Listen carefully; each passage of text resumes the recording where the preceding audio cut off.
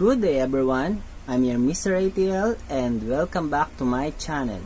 So today's video, we're going to solve some problems involving compound interest but this time, compounding more than a year. So let's start with a problem. Mr. Wong invested 10,000 pesos in a bank. How much will be his money after 5 years when its interest rate is 2% compounded A. Annually and B. Semi-annually. Okay, so we're going to solve for A. Annually and for B. Semi-annually and then we're going to compare if they will have the same amount of money or future value. Okay, so I'm going to draw a table for annually and for semi-annually for us to compare what is happening behind this. So here is the table. So A for annually and B for semi-annually. So let us recall that the principal amount of money that Mr. Wong invested is 10,000 pesos and its interest is the same as 2%. But for the for letter A it's annually and in letter B it's semi-annually. So on the first column it represents the number of years. So since we are asking or we are being asked to solve for how much money will be his money after 5 years, therefore for, for annually, this is for after 1 year, after 2 years, after 3 years, 4 years, and after the last year, after 5 years. So on the next column, this space is allotted for amount of money at the end of the year. So let's say after a year, since the principal amount is 10,000 pesos, okay, multiply by multiplying this using your calculator, it will give you 10,200 pesos. And then for the second year, this will become your principal amount, the 10,200 pesos and we will find again it's 1.02 you will multiply it again. For the second year that will become 10,404 on the third year the principal amount will be 10,404 multiplied by 1.02 again and this will give you 10,612.08 on the fourth year this will become your principal amount the uh, 0.08 multiplied by 1.02 and this is 10,824.32 so after that for the last year your new principal amount will be 10,824.32 multiplied by 1.02 and this will give you 11,040.81 pesos. Okay, so therefore, after 5 years, the money that Mr. Wong that he can get from the bank will be 11,040 pesos and 81 centavos. So let us compare it if his money is um, compounded semi-annually. Okay, so on the first year, when we say semi-annually, the interest rate is every 6 months because there are 6 months for half of the year. Semi-annually is half. Okay? So, from annual interest rate of 2%, this will be divided by 2 since for every year, there will be two six months. So that will become 2% divided by 2 and that is 0.01% or 0.01 okay so this will become the rate every 6 months. On the first row we are going to write 1 half after 6 months. This is for after 6 months. And after 6 months again that will become 1 year. Another 6 months that is one and a half. Another 6 months we have 2 years. Another 6 months two and a half. And then it will become 3 another 6 months it's three and a half. And this will become 4 and after 6 months that is four and a half. And for the last after 5 years. Okay so next. Anyway if it is quarterly this will become 2% divided by 4 and this will become 1 fourth 1 half 3 fourths then 1 uh, 1 and 1 fourth 1 and a half 1 and 3 fourths then 2 then 2 and 1 half and so on until you reach 5 so therefore um, we can find now the future value if you're going to complete this table okay starting from this the amount of money that Mr. Wong invested is 10,000 pesos and we are going to multiply it by 100% and 0.01 since 2% divided by 2 is 0.01 so that is 1.01 it is not 1.02 because it is semi-annually. So we're going to divide 2% by 2 so multiplying this it will give you 10,100 this will become your new principal amount. Okay? Multiply by 1.01 again so that will become 10,201 this will be your new principal amount 10,201 multiplied by 1.01 again. And that is 10,303.01 this will be your new principal amount 10,303.01 multiplied by 1.01 so that is 10,406.04 so this is our new principal amount multiplied by 1.01 and that will become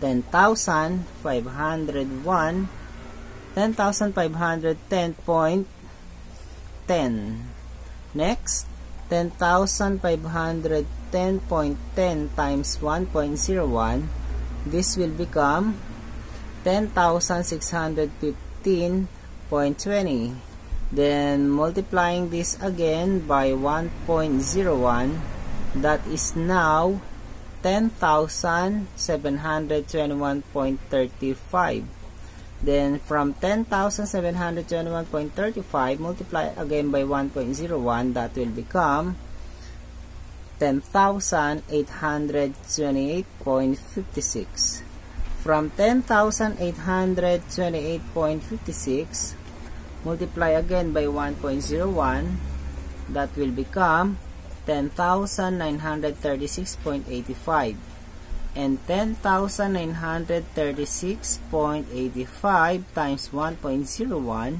that will become 11,046 pesos and 22 centavos.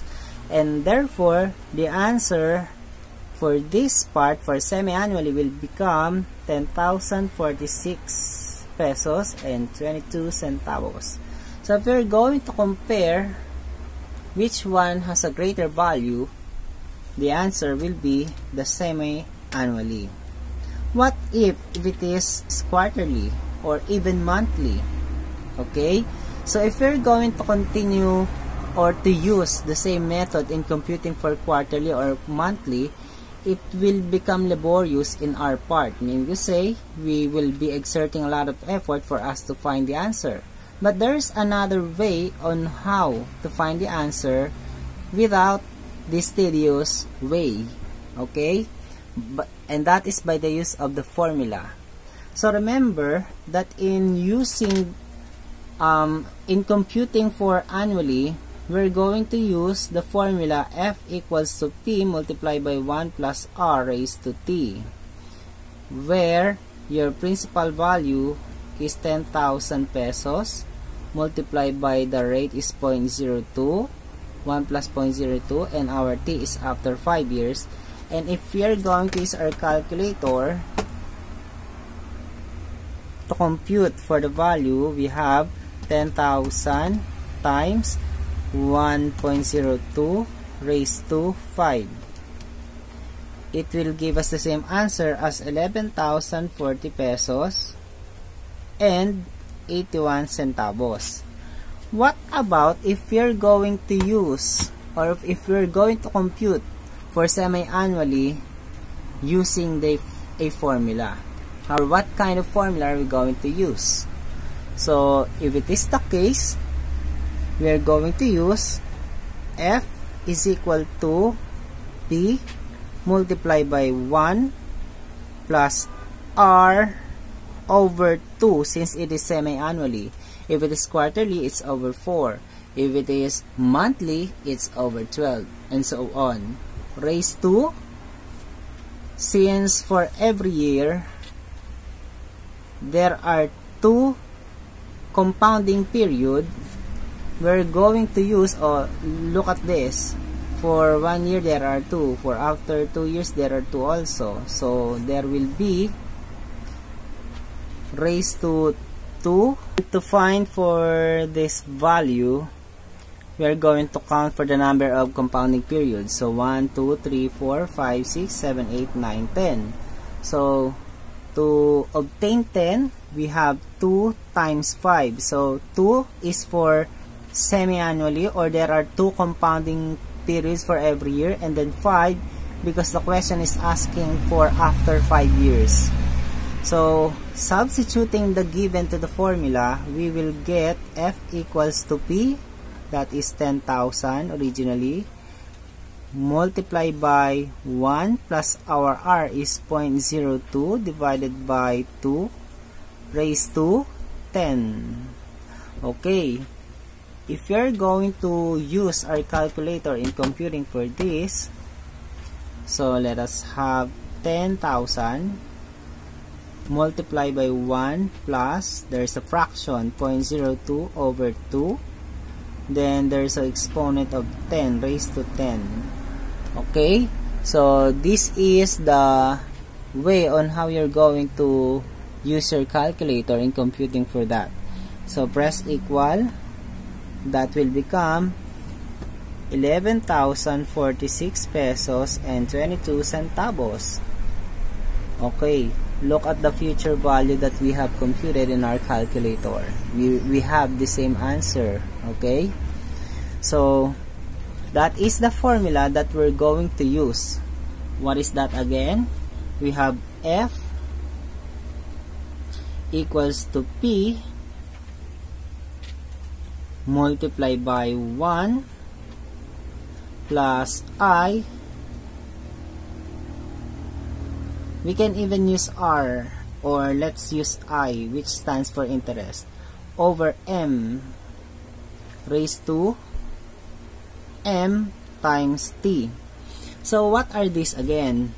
You know already uh, what F stands for. This stands for the future value. This is for the principal amount.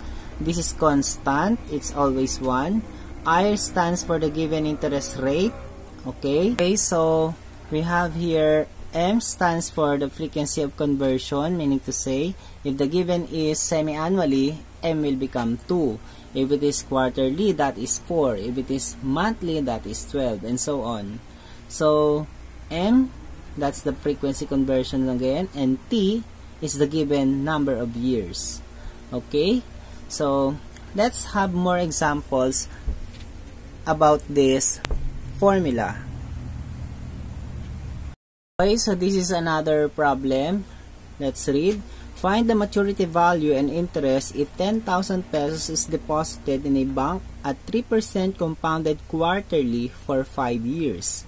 So, this is all about compound interest once again, but it's compounding more than once a year. So, it's quarterly.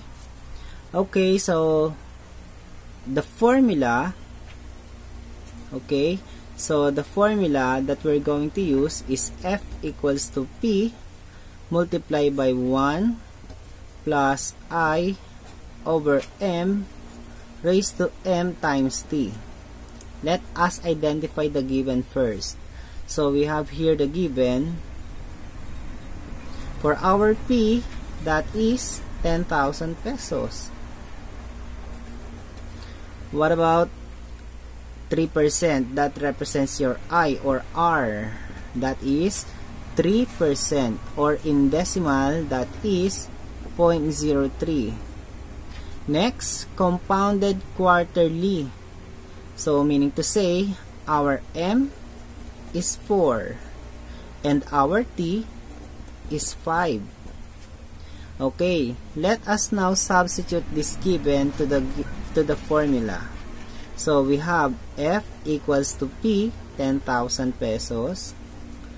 We have 1 that is constant it's always 1 i is 0.03 our m is 4 raised to m 4 again times your t is 5 okay so we have f equals 2 we can even um, compute directly on our calculator.